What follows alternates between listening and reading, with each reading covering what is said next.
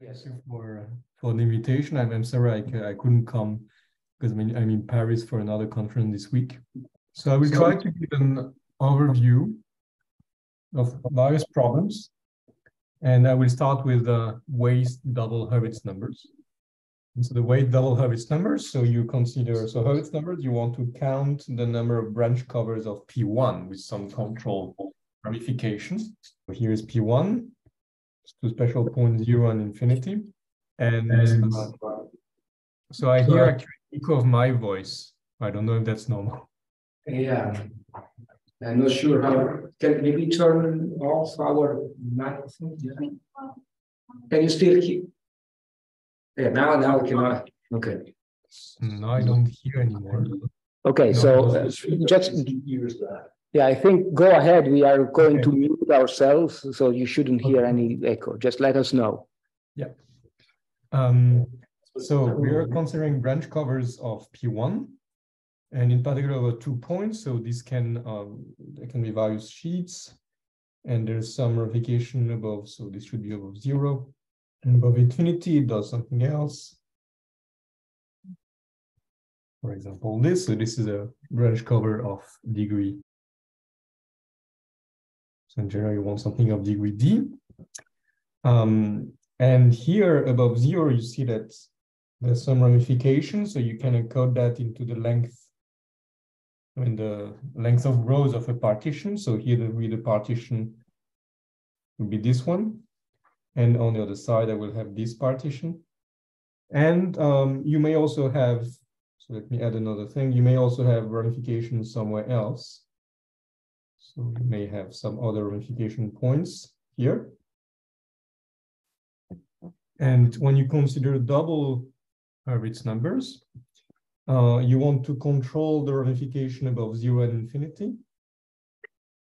So we call that lambda and mu.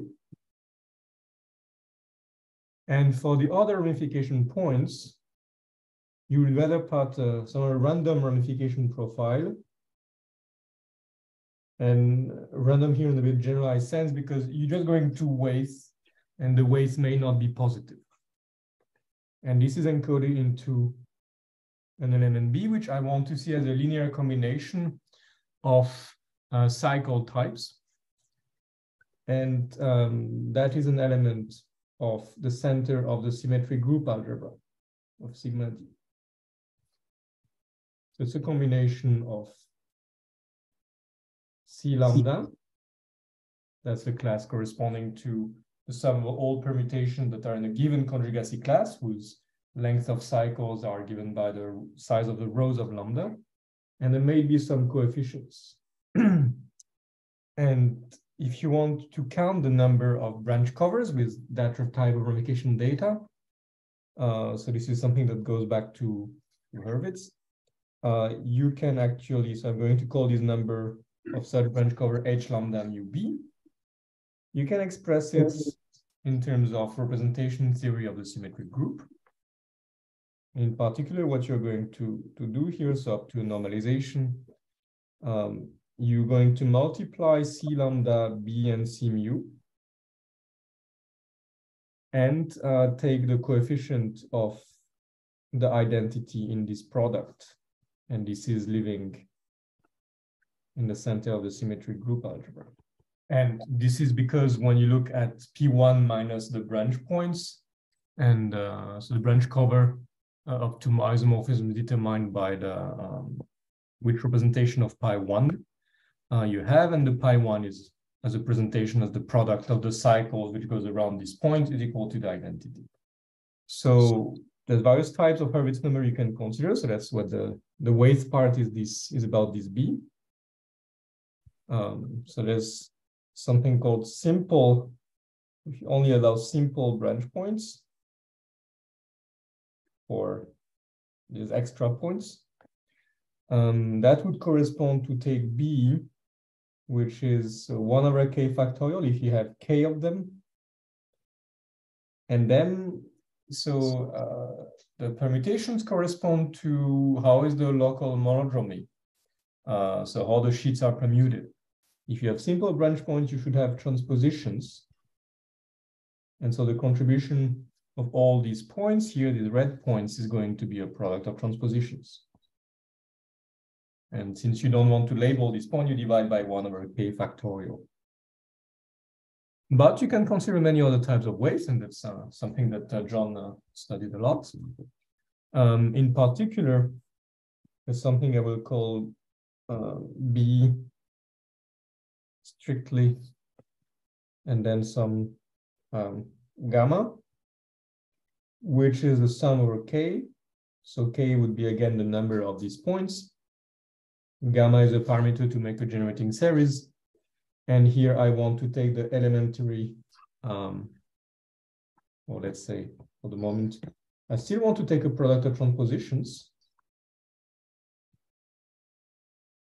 However, you, so that would correspond to a strictly monotone, which is this funny condition that, okay, so when you have a transposition, it's an AI, BI, you can always assume that AI is smaller than BI.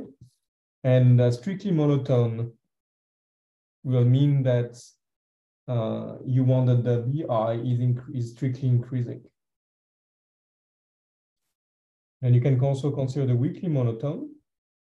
Uh, here it's uh, max, whatever, I will call this BI, I call it max of tau i, and it should be strictly increasing. And here I want the same with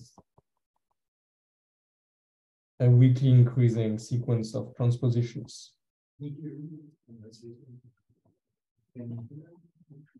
So there are three particular examples. There, there, are many others which are which are interesting, but this one will play an important role in my talk.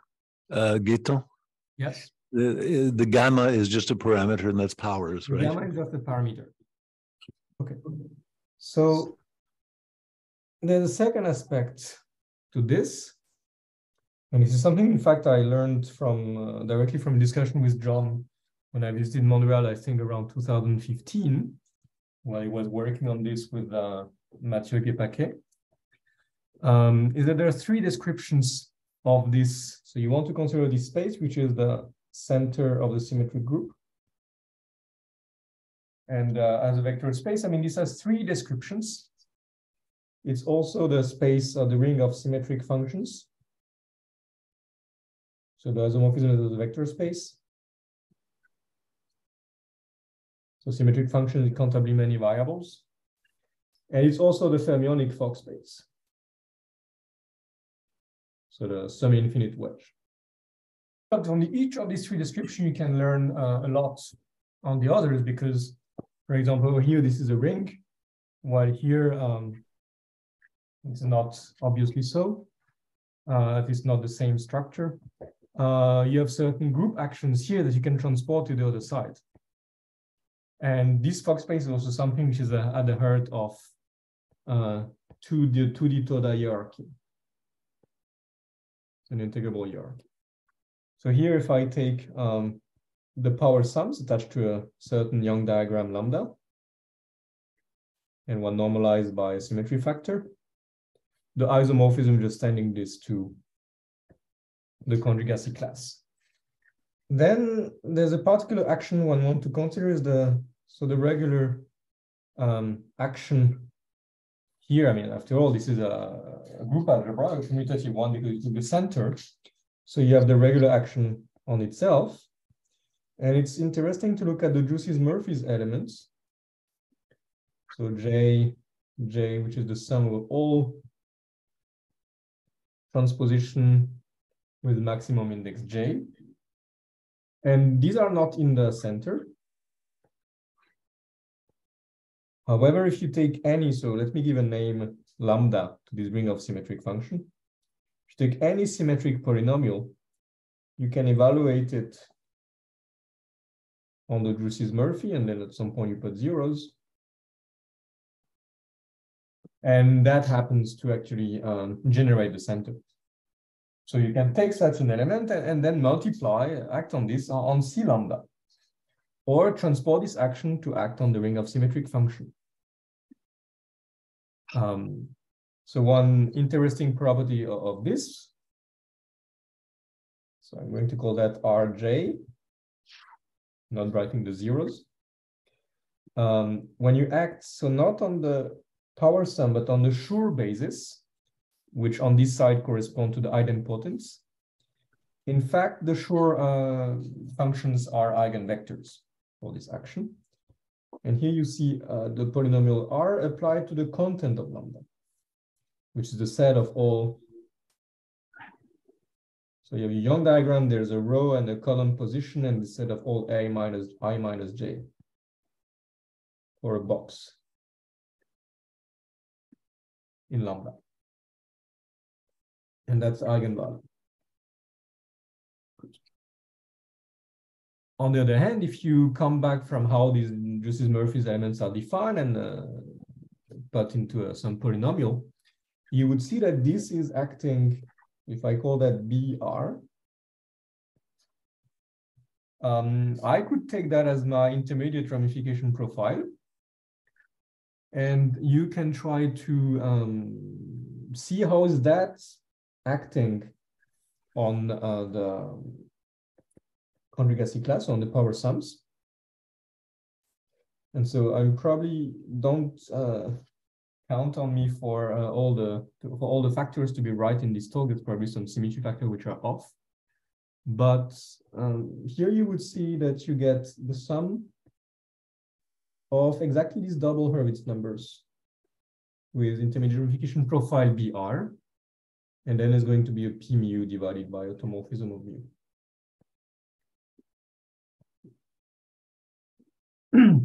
so in particular, if you want um, to have these simple branch points, um, you would take P1, so as um, P1 of J to the K over K factorial. If you want B, um, so the, the strictly monotone Hurwitz numbers so before we had these elementary symmetry, well, we had this. If you look at what it means in terms of the, the J's, it corresponds to the elementary symmetrics. And so this should be this product. And on the other hand, if you want the weakly monotone, you will get the HKs which are those ones? Um, sorry, I think I probably I mixed them. Uh, this here. Probably vice versa. Yes, this one is like that. While you get the H if you do this. So some of the inverse, these two operators up to a Chen flip them on the sign of gamma, they're uh, they're inverse to each other. Good. And so what I learned from, from John is that, so there's the trivial, there's a 2D Toda tau function, uh, which is something which live in lambda, so completion of the double tensor product.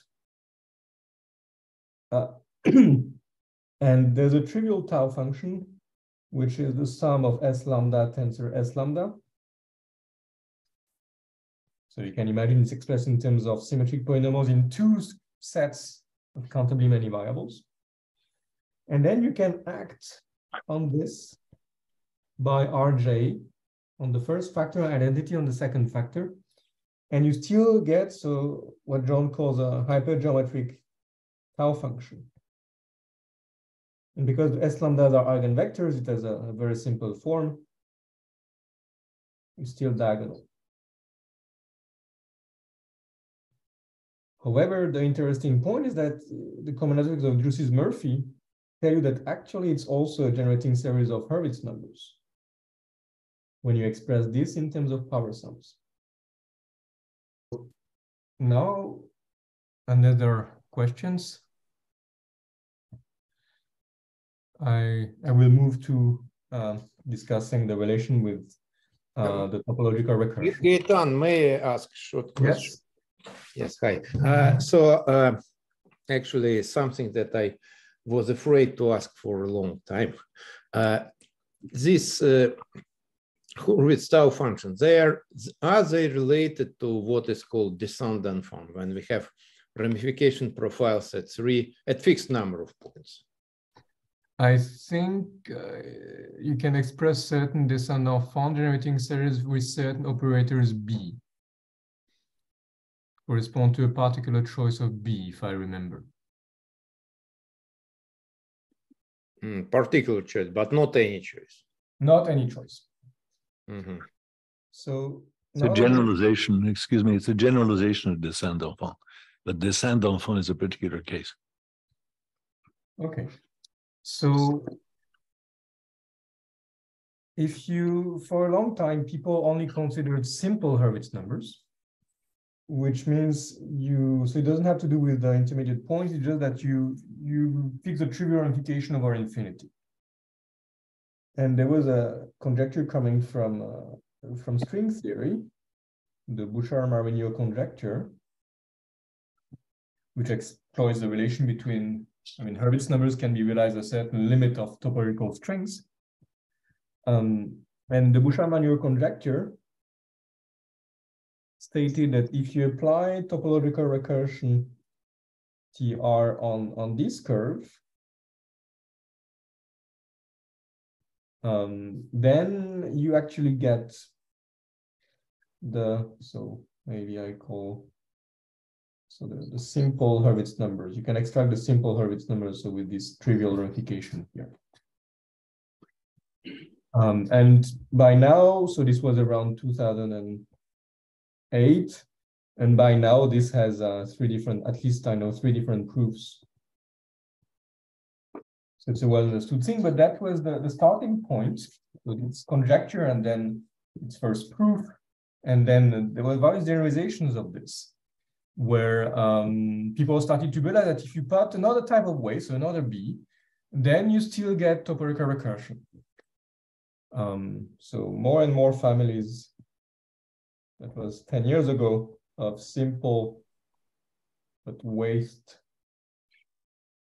Hurwitz numbers were shown first conjecture and then shown to satisfy topological recursion. and uh, the spectral curve. So I should maybe say it's a recursion on what? Here, from this stage, you actually, you're not totally satisfied with counting just branch covers, you want to fix their topology. So you want to fix the genus and fix the length. So what's the number of preimages of zero in the branch cover? And you're doing connected branch cover, so you have a certain genus G. And it's a recursion on 2g minus 2 plus n. And the spectral curve, so y is a function of x. In each of these problems, so that's the easy part because you just need to, to find the case um, g equals 0, n equal 1, and very often you can compute that by elementary means. so in most of these problems, you could actually compute what the spectral curve should be. And then the question was, can you prove topological recursion? And lot of people worked on this and managed to prove that in several cases. Each time the method was a bit more technical, so it was a case by case thing. Um, then there was a, a work by a series of work by Alexandrov, so by John with Alexandrov, Chapuy, and Eynard, who uh, I think were the first to tackle this problem, but for uh, to try with double Hurwitz numbers. And um, here there's a, a, nice idea because now you have two sets of parameters. So what do you recurse on? Um, they desymmetrize the treatment of the two points. So more precisely, what they're going to do. So you want to define some omega g n's, which you want to compute. And uh, this is going to be, so there's a sum over all the ramification uh, when you have exactly n preimages above zero. Um, so here you're going to put x lambda one, x n lambda n. And here the lambdas are not ordered.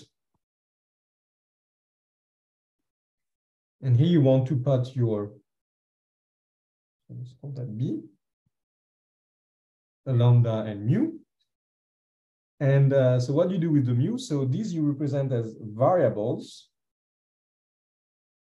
but for the mu's, you just put some parameters. So it's Q um, mu one, Q mu L mu over automorphism of mu.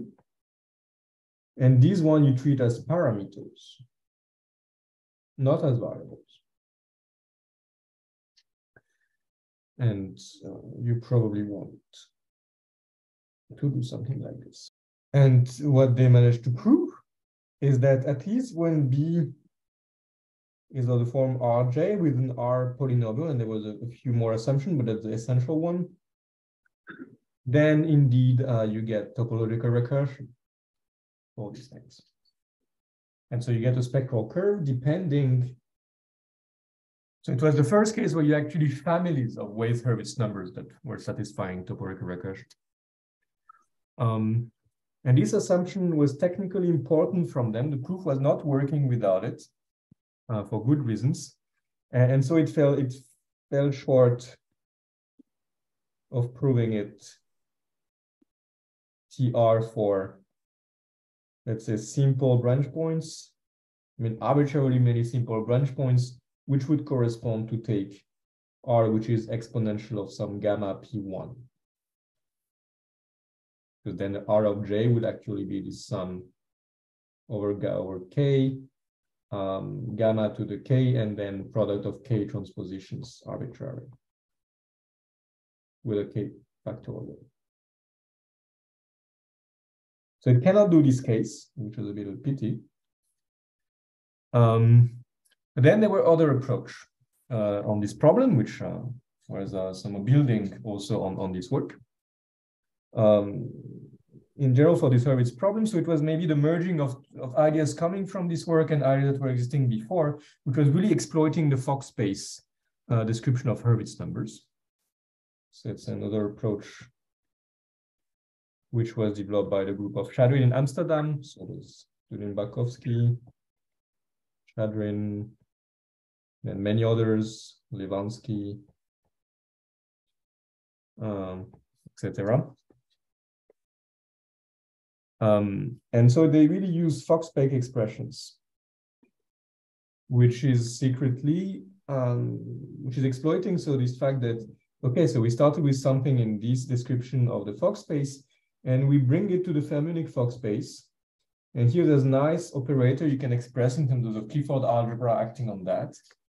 And uh, you use these sort of operator or expressions to get two things. So general strategy was you can always get and join equations. This is not hard with these operator formalisms. And the hard part is you can try to prove that these generating series, which are just formal series in the x's, actually have an analytic continuation on the spectral curve of the problem. And that, for a long time, was pretty hard.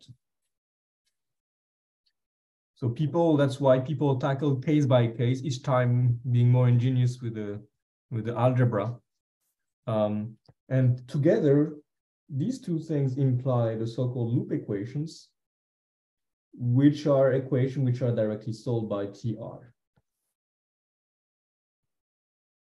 So at this point, uh, we tried, so this was a work with, um, so Do, Lewański, um, so Karev and uh, Ellena Moskovsky. Um, so we try to adapt those techniques um, to take to tackle this case. And this was much more technical, but we we succeeded. Um, and so it gives um, so it is for that case, uh, you get TR it's around the year. I think it was finished during the early COVID times. Um, you get TR for that spectral curve. So you write it, you get it in parameterized form. So here are the Qs, which encode how it behaves at uh, how the branch curve behave at infinity. You truncate it somewhere, but you can put this truncation arbitrarily large. And here you have the same polynomial And shortly after, in fact, uh, Bychkov, uh, Kazarian, Dunin-Barkowski, and uh, Shadrin, in fact, managed to completely systematize that analysis. So they made it systematic by using operator manipulation in the Fock space. So it's a, it's a beautiful work because automatically they could derive TR for the largest class possible of weight Hurwitz, double Hurwitz numbers. And of this closes a bit the this problem opened almost 15 years ago. And not only close the problem, but it allows to, to tackle other problems. And uh, now I want to, to come to this. So this is an operator. So this brings me to a third topic, which is matrix models and free probabilities. Um, and here I want to recall a bit the, the history, I mean, um, of these recent developments. Um, in the year 2001, so one knows that two matrix models, so two Hermitian matrix models, with a measure of this form, you have two potential for the matrices, and then they're coupled with trace of M1, M2. Um, they can be solved by bi-orthogonal polynomials. And um, as much as orthogonal polynomials, it's well known they satisfy a second order differential equation, uh, bi-orthogonal polynomials also satisfy um, differential equations. And you can also change the coefficient of the potential. So um, you're in fact compatible ODEs. But now you have two types of polynomials. So you get two lax pair, two lax pair descriptions for the two uh, polynomials. And um, in 2001, Marco, Bertrand and John made the observation that the spectral curve of these lax pairs, so I call it L1, were dual, I mean, were essentially the same. Also, the lax pairs have different size. Uh, they're quite different, L1 and L2 as operators, but uh, the spectral curve is and uh, shortly after, building on, on works on matrix models uh, that were happening at the, in the early 90s, uh, Chekhov, and Orantin in fact, systematize solving the large n expansion of these matrix models once you assume it exists. And that gave rise to the theory of topological recursion. The theory was invented to solve matrix models for uh, large n expansions. And it was working for the one Hermitian matrix model, but also for the two Hermitian matrix model. And this topological recursion, so it's it's uh, a recursion again on G and N for these quantities, which are the coefficient of uh, so the large and asymptotic expansion of the cumulants of the resolvent of the matrices. So in the one matrix model, it would be this. So it's for those objects here. And once you know these correlators, correlators, you can get back to the free energy by a sort of integration. But in the two matrix model, you have two matrices, and there's TR for the correlators of each of the matrix. So in Vapor, you have two ways of getting the free energy. Um, this led uh, Eynard to propose um, so there was two way, and so Eynard envisioned that actually that so you should, of course, give rise to the same free energies, getting it from the two spectral curve, and the two spectral curve are related by some of kind of exchange of the role of x and y. So that exchange of x and y uh, should give the same free energies in general in topological recursion. And he call that the symplectic invariance. So also the correlators are very different if you exchange x and y because you can think in the two matrix modes correlators of one matrix and correlators of another matrix. the free energies, which are the some of the omega g zero, are the same. So formulating this precisely and even trying to prove it is, is quite tricky. And um, there was some argument of Eynard based on the analysis of the two matrix model, which was not, which was pretty involved. And um, yes, is there a question?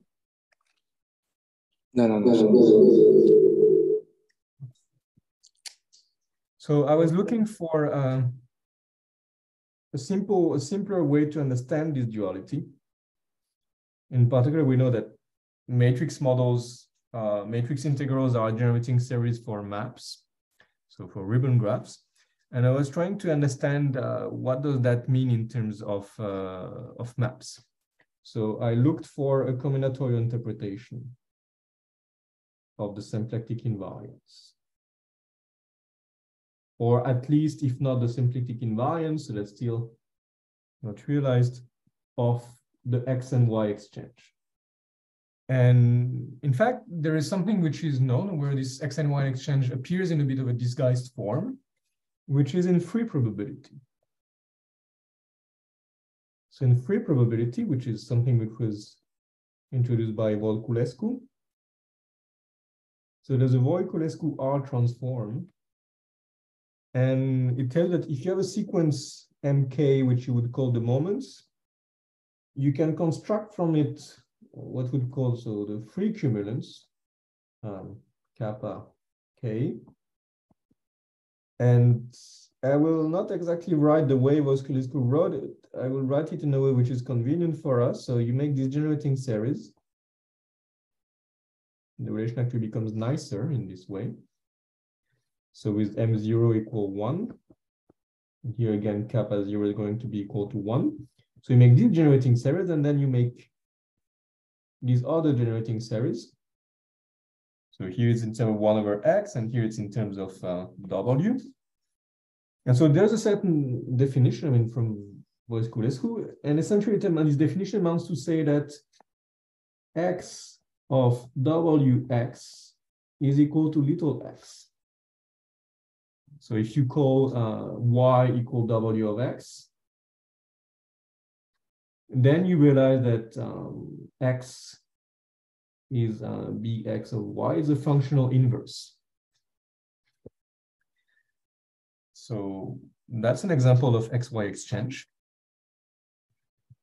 And in the context of a matrix model, so here let me say um, maybe what these moments correspond to. If you have on the space Hn of Hermitian matrices of size n. You take a probability measure, which is un in, invariant by un conjugation. For example, something expressed in terms of traces. Um, you can look, so mk, you can try to look at the large n limit of the trace of mk, m is my matrix, and assuming that this sort of limit exists, that will define your moments. And um, then the free cumulants also have an expression. I'm going to come to that. And in terms of maps, this is counting.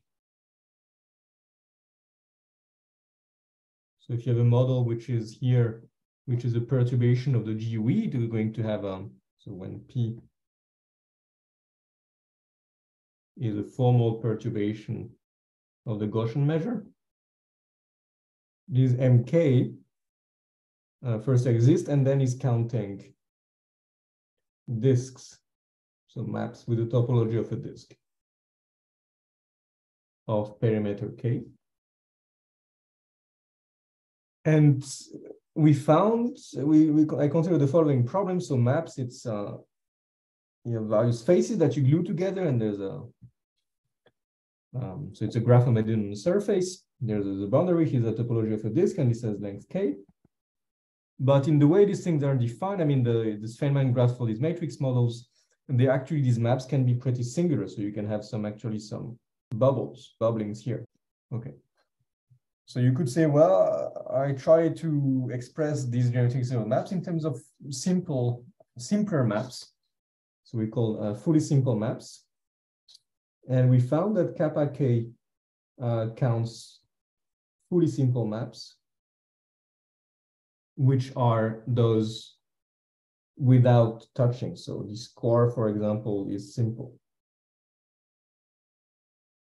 And it's expressed by internal geometric series by this relation. So the other thing we know is that topological recursion computes, because it applies to matrix models, it also applies to enumeration of maps. So it computes the omega gen, which are uh, counting maps of genus G with n boundaries. And to be precise, the topological recursion, so the, the spectral curve is this W of X, genetic series of ordinary, so this one we call ordinary disks. So that this counting, and then you also need an input, which is um, omega zero two, which you slightly shift to form an object called the Bergman kernel. And so these as analytic continuation on a certain curve, which is a spectral curve, you take the function x, variable x, then you express y in terms of x, and you apply b, and you apply tr, and you obtain the omega gns. That's the result of essentially of Eynard. So we're thinking, okay, now if I exchange x and y, I know that for this, I'm counting something else. I'm counting fully simple maps. Could it be that uh, when I apply TR to the spectral curve with exchange X and Y, and then the same B, that's what symplectic invariants work, the same Bergman kernel. So that was the conjecture which we formulated precisely with um, in the thesis of uh, Elba Garcia Failde. That should compute what I call omega gn check, which is, or xgn check, which is counting fully simple maps of any topology. And uh, the first thing is, what about the B? So the B should be related to omega 0, 2. And combinatorially, yes, this actually is true. So the fully simple cylinders, essentially the, the picture is, is like this. So you have two boundaries where they can touch each other. There's boundary one, there's boundary two, and they touch each other on these lines. And the maps is in the middle. So you can have this kind of touching, and then you can have bubblings a bit everywhere here, everywhere. And when you express combinatorial leads, that give you com combinatorial leads that give you a relation between W02 and X02. Remove this check, which is exactly telling you that it's the same B. So when you do this shift and you express in terms of W variable in terms of X, you get the same.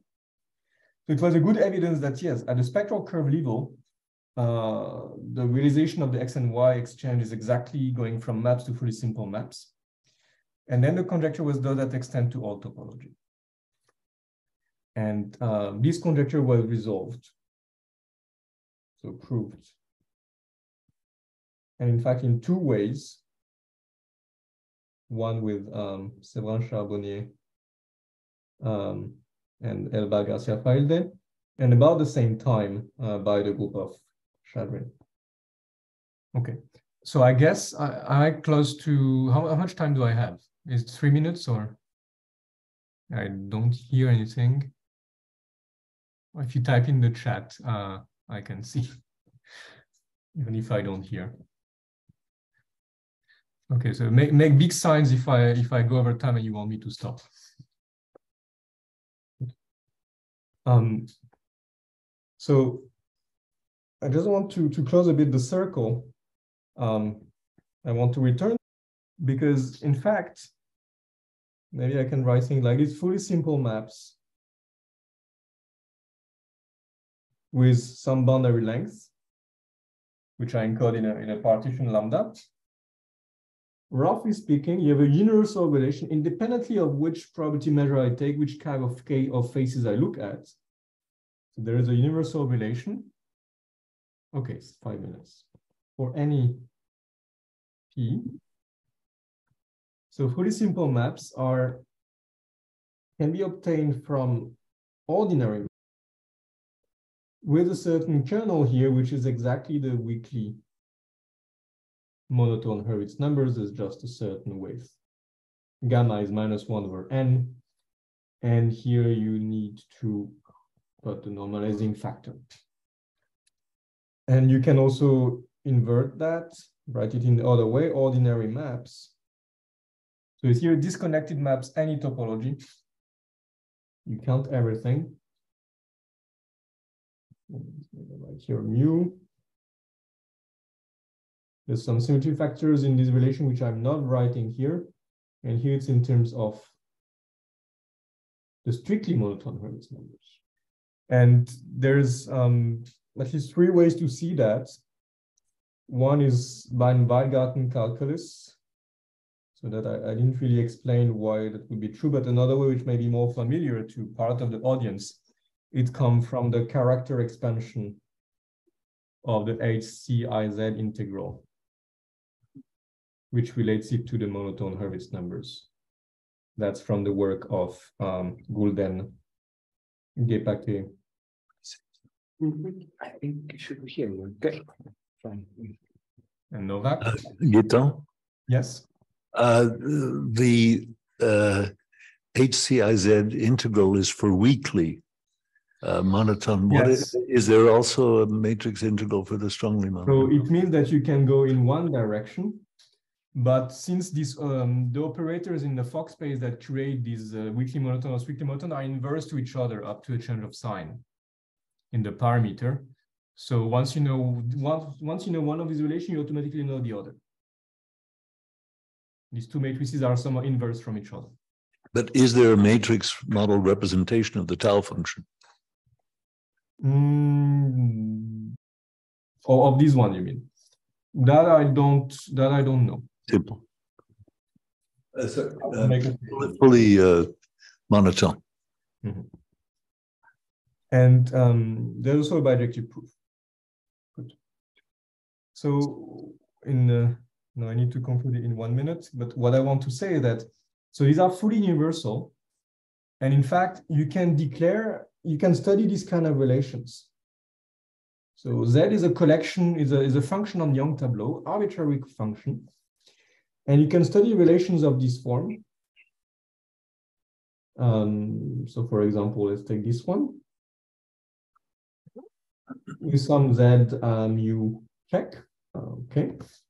So that's an expression of, of this relation, but here uh, you start with a z lambda here and you can define if, or you start from z mu check, you and you define some z lambda from this relation for any lambda. And that you can express in the Fock space. So you can actually encode, you can define a vector in the Fock space by, these are the coefficients in terms of Schur functions. And then the corresponding vector of the check is going to be a certain operator on the Fock space, which is exactly the one generating those weakly or strictly monotone Hurwitz numbers. So in the way I wrote it, Z is obtained by the certain operator generating the strictly monotone uh, on apply to the Z check. And then you can use operator methods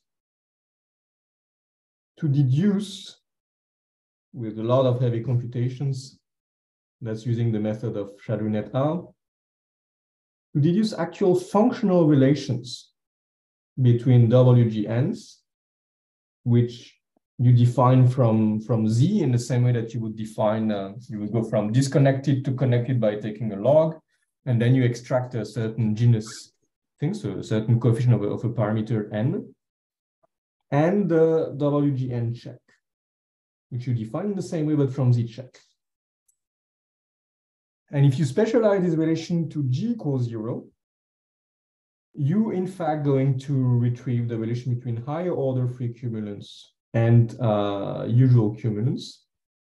And this type of function, so at the functional relations, so functional relations, problem, and you also obtain it in higher genus as well. So that was not defined in free probability, but that also works. And this thing was uh, defined at the combinatorial level in a work by Collins, Mingo, Śniady, and Speicher. But they couldn't prove more from their definition than these relations for the so the R transform and the second order. which is here expressed in the fact that that's the same B. And some of this method, which is this detour via Hurwitz numbers and the Fock space, uh, allowed actually to, to solve this, uh, this problem, which was open for, for a while. And there's even more recently some more better development. I mean, you can express generally what X and Y exchange is doing for an arbitrary spectral curve using the operator method. That's a recent paper of Shadrin et al. And so now we're much closer to actually prove or understand well this symplectic invariance property. And it's really this uh, interaction between different domains uh, was extremely fruitful and inspiring. Thank you very much. Okay. Um, I hope, can, can you hear us now? Yes. yes? Okay. Are there questions from the audience here or the audience in Zoom? There's a question now. Oh, all the way to the back. Just a second. I have. Can you hear me? Uh, yes. Yes. Thank you very much for that. I have two questions. The first one is horrible. I apologize for it. So, what is exactly topological relation uh, recursion? Yes. You want to ask also the second one, and then I see. Yes, uh, the second one. Yes, you want to skip the first one. no, no, I'm, I'm going to try to answer in a more. Uh, the second one is uh, since there are Jucys Murphy elements for other group algebras, is there something like Hurwitz numbers, uh, not for type A, not for symmetric group? So there is, uh, in particular, recently the type B, so which was, I think, initially studied by so I'm not exactly sure. I think Natanzon and then Orlov uh, studied were maybe the first to study that, but please correct me if wrong. So in this type B, you replay the symmetric group by uh, the Sergeev group. And uh, that correspond, in fact, it's interesting because it counts Hurwitz numbers with a, with a spin. So you have a spin structure on the cover and uh, you count the, the, the, branch cover with a sign depending on the parity of the spin structure. And uh, so that you can do. Uh, the very start of my talk for the B, so it's uh, it's well known, I think, from this work of uh, at least from Orlov, but maybe also some other people. Um, and uh, then the operator part and the treatment of this operator thing and how to get to topological recursion, that's also was done by uh, Alessandro Giacchetto, Danilo Lewański, Reinier Kramer. They conjectured the topological recursion for this.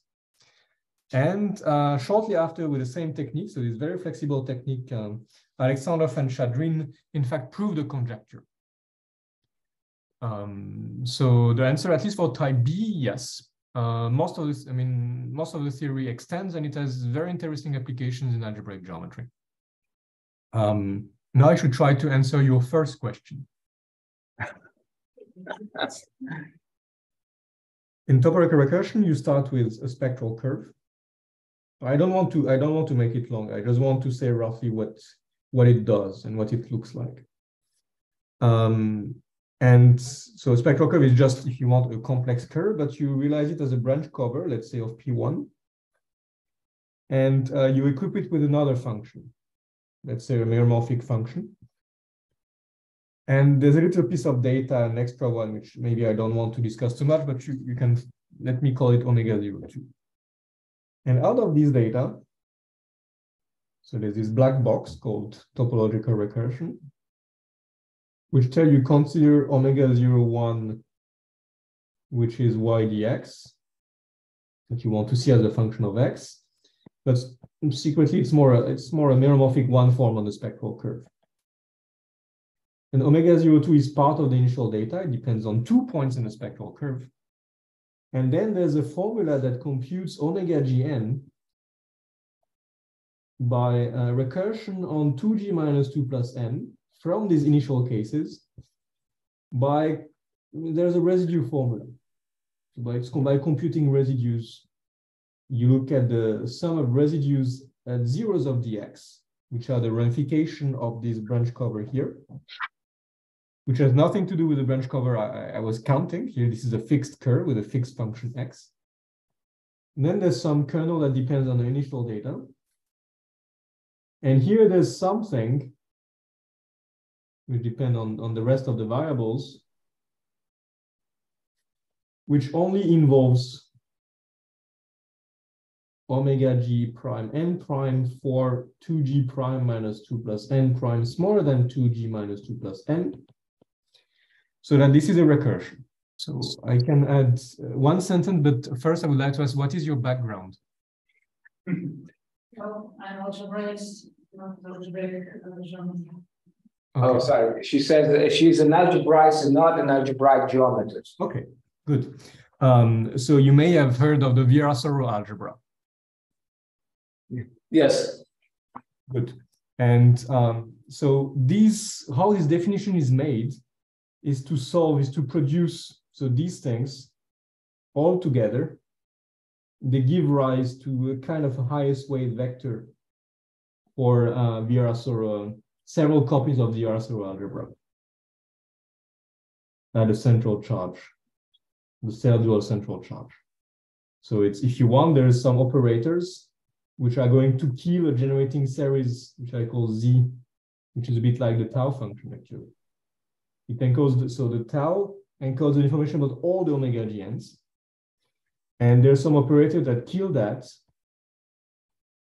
And it's only half of the operator that it. So topological recursion is a solution of those Virasoro constraints, uh, which has a in this context, a very specific form, which is universal and only depends on the spectral curve. And the reason why we're interested in that is because these omega gn, if you fix a certain spectral curve, like the one coming from Hurwitz counting problem, so the counting of disks, or if you take the spectral curve of an integrable system given by a lax pair, or if you take uh, the spectral curve of a matrix model encoding the way the eigenvalues behave with a large uh, n limit, the omega gen in this case is going to compute uh, essentially to solve your problem um, completely by this induction. The only thing that changes in the initial is the input, which is the spectral curve. So in five minutes, uh, that's what I can say. Can you send my thanks to the speakers? thanks to this, she's, she's thanking you, but uh, the microphone is a bit far, so I am relaying information. Any, any other question or comment? John? Unless there's somebody else, I don't want to always take precedence. So Gaetan, uh, very nice talk, thank you. Um, did I understand correctly that you said that if you know the uh, weakly uh, monotonic double Hurwitz numbers, then you can somehow also calculate from that the weakly uh, monotonic ones? I say something a bit different. You consider this double Hurwitz number as an infinite matrix whose rows and columns are indexed by partitions. And uh, I'm saying that if you know this relation, you can deduce the other. Just because these matrix, so it's the matrix We don't see what you're writing. so- Where- where's it? here, Yeah, yeah, it's okay. there's relation one and relation two. Oh, okay. And one of them implies the other just by the fact that these two matrices are inverse of each other. And this is clear on the Fock space formalism. because When you express the Jucys Murphys, it's just uh, either you put that or that. So up to changing the sign of gamma, when you multiply by the two together, you get the identity. So can you scroll, can you scroll up again to, to the one and two? So was that an inequality or an equality? That's no, That's that's an equality. equality. So, so you can read off these fully simple maps and also the ordinary maps from a knowledge of the uh, weighted Hurwitz numbers. I'm saying there's a yes, if you know that's maybe the best way to express it is this kind of way. So you have a vector. If you know one vector, this operator defined in terms of Hurwitz numbers gets you to the other side, and that's invertible. And if you invert it, you actually get the weakly, the transition matrix given by the weakly monotone. And D is just, D is just a li- an infinite linear map. D is this uh, in the Fock space. It's exactly uh, my these two things here. Oh, Except I put gamma. Okay, uh, gamma is maybe one over n in my case.